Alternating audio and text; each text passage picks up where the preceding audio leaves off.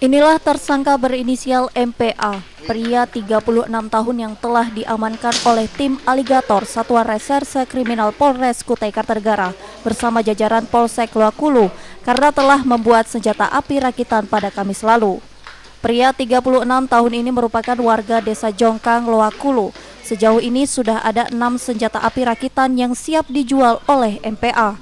Tidak hanya menangkap pelaku, petugas pun berhasil menyita 6 buah jenis senjata api yang berbeda-beda dan 37 butir peluru.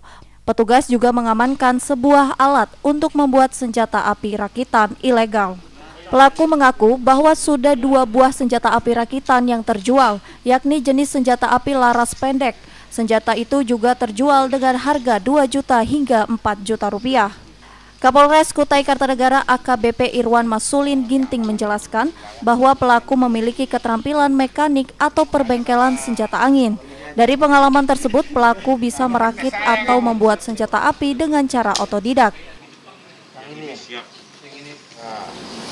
Seseorang yang merakit atau membuat atau menjual uh, senjata api rakitan uh, di daerah Pulau. Kemudian anggota melakukan penyelidikan uh, selama beberapa hari.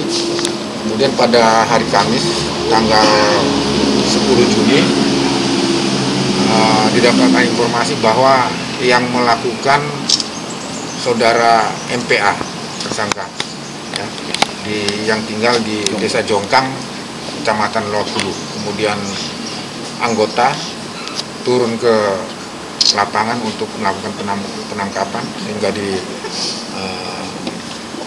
eh, pengamanan terhadap tersangka dan barang bukti.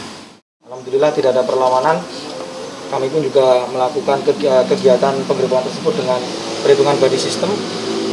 Eh, semua pintu keluar kami perhitungkan dengan cermat. Alhamdulillah eh, tidak ada perlawanan. Kemudian kegiatan kami lanjutkan dengan penggeledahan di dalam rumah. Kapolsek Loakulu AKP Ganda Syah juga menjelaskan pada saat melakukan penggerbekan tersebut tidak ada perlawanan dari pelaku. MPA sendiri merupakan seorang residivis yang sempat menjalani hukuman kurang lebih 10 tahun di penjara karena melakukan tindak pidana pembunuhan.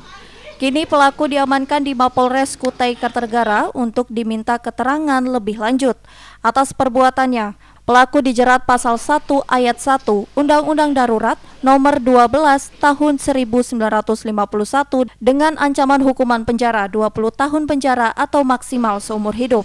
Dari Kutai Kartanegara, Andika Kurniawan, Anyus melaporkan.